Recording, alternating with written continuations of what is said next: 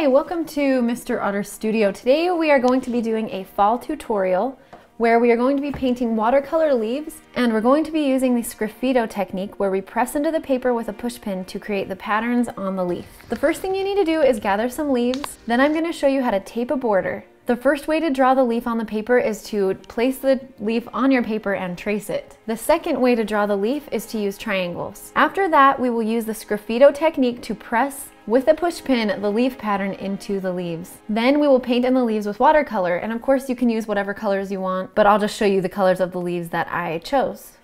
I had a request for a fall themed tutorial, so pumpkins or apples, and I chose to do fall leaves. And we're going to be using a push pin. So if you are young and you're watching this, make sure you have an adult supervision because push pins are sharp and I don't want you to get hurt. The first thing you need to do is go out and gather some leaves. This is what I did. I went on a hike this morning and I gathered these leaves. So go outside and gather some leaves. The second thing you need is paper, and I'm using watercolor paper, Canson XL. Then you need a watercolor paintbrush, and I'm using a Winsor & Newton number 5 round. And you need some watercolors, and I'm using this Prang 8 color set. Use whatever watercolors that you have. You need water, paper towel, a pencil, and I have to use an eraser. This pencil doesn't have an eraser on. We are going to be using a push pin. If you're using this, be very careful with this if you are young or even if you're old, be careful with this one. And if you don't have a push pin, you can use anything, just something with a sharp small point to scratch into our watercolor paper. All right, let's get started. I forgot one other supply, masking tape. You do not have to use this, but I'm going to use it to tape a border around my leaves. You don't have to do this and you can also just draw a box and that would work great. These are the two leaves that I'm going to use. So step one, place your leaves on your paper and grab your tape and tape two spaces that will fit your leaves. Once you put your tape down, press the edges to make sure it has a nice seal. You can move your leaves. Step two, once you have your borders taped on, we're going to draw the leaves. And the first way to do it is to trace your leaf. Press your leaf down and go ahead and trace it. You don't want to draw this really dark because it's just going to be in the background.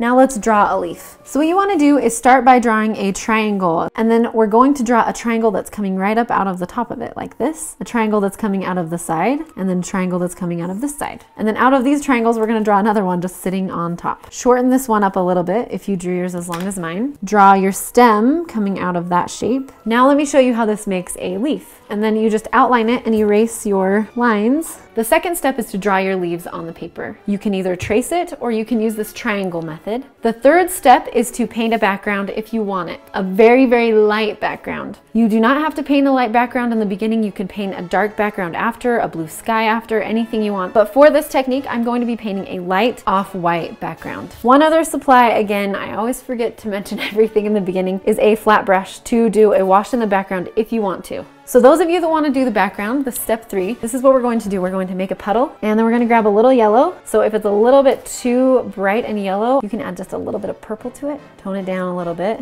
Okay, now hopefully you have enough color mixed up that you can paint your whole background in. And so this is kind of what it looks like on my paper towel. Once you have your puddle mixed up, go ahead and paint over the whole thing, making sure your tape is secure.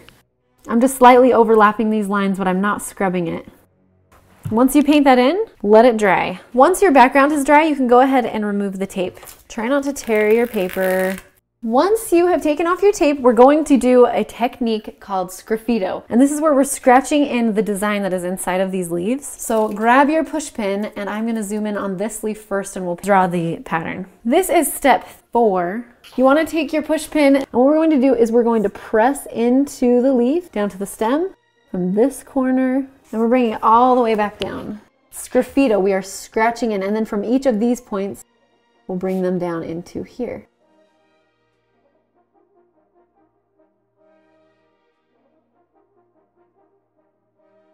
And then in this center part, we'll just add a few that are coming up to the side. And you can add ones that are coming off of the side of these ones. I always just think we're making a bunch of Ys. You can just kind of do as many as you would like to fill this in with. Once you get a few of those on there, this is when you can paint it in. And I'm gonna start by painting this one. Make sure you have your paper towel ready and let's get started. I'm just gonna use these colors, reds with a little bit of orange around the edges. Mix up a little puddle right here. And I'm gonna put some red in it and some orange. And of course you don't have to use these colors. Look at your leaf, see what colors that it is.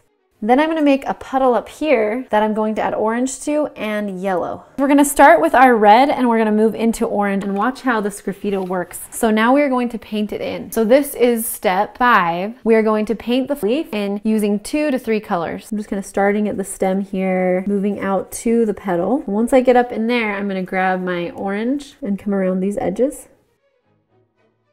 and I'm overlapping the red so that it mixes. So we're gonna grab our red again and come back up into this middle section. And we're gonna grab our orange and paint in the edges and I'm overlapping it to get it to blend. And then we're gonna do the same thing over here. We're gonna grab our red, start at the bottom of these leaves, just start coming up on the leaves a little bit and then I'm gonna grab this orange color and overlap it. This tutorial will probably not work unless you're using watercolor paper. And then for the stem, we're gonna start with just this orangey color. And then I'm just gonna grab a little brown. Just grab a little bit of brown and put it on the end. So now let's work on our next leaf while this one dries. All right, with this leaf, we're gonna do the same thing. We're going to be using our push pin to draw in the patterns, and we're going to draw the patterns in the same way that we did over here. We're gonna draw lines in from all of these edges into the center by the stem. And then now we're gonna bring these other ones into this one. Now we're just gonna be drawing Ys off of each of these and just bringing more lines into the edges. You can bring as many as you would like. I like just to do at least two on each. And once you get those in there, let's go ahead and paint this leaf in. And this one's going to have a little bit more green on it. So I'm going to mix up a little bit of green for this one, almost like a lime green. And this one also will have a little bit more yellow on it. Okay, now you can layer these colors however you want. So I'm just mixing, I'm playing around with my greens, with my yellows, and with my reds.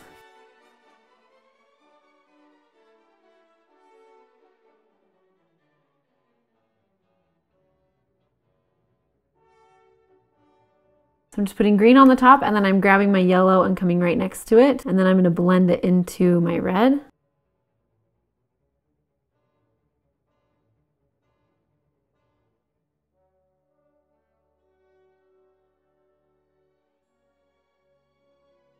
Paint the stem. And the cool thing is once it's dry, I can layer and I can bring my red and come back over the top of this one. This is more of a multicolored one and this is just more of a classic red and orange leaf. But make these leaves as bright as you would like. I just want to show you how you can darken it up just a little bit. If you want it to be a little bit brighter, just do another layer. So you can leave the leaves like that or you can paint them just with another layer of the same colors if you want it to be darker and if you want it to be brighter. I also could have just made them a little bit more brighter and added more pigment to them when I um, painted them in the beginning. If you want to add some highlights in the leaf, you just dry off your brush a little bit, soak up some of the paint in those areas that you want to be a little bit lighter to add a little bit of depth to the leaf. So this is my second layer and you don't have to do this again. This is just optional if you would like to. I'm kind of just going over the same colors I had before. So again, this is optional. If you want to make them brighter, just add another layer of colors over the top once. Just make sure the layer underneath is completely dry or else you'll end up just taking that color off. And that's it. I hope you enjoyed this tutorial. Have a wonderful day. We will see you around on YouTube.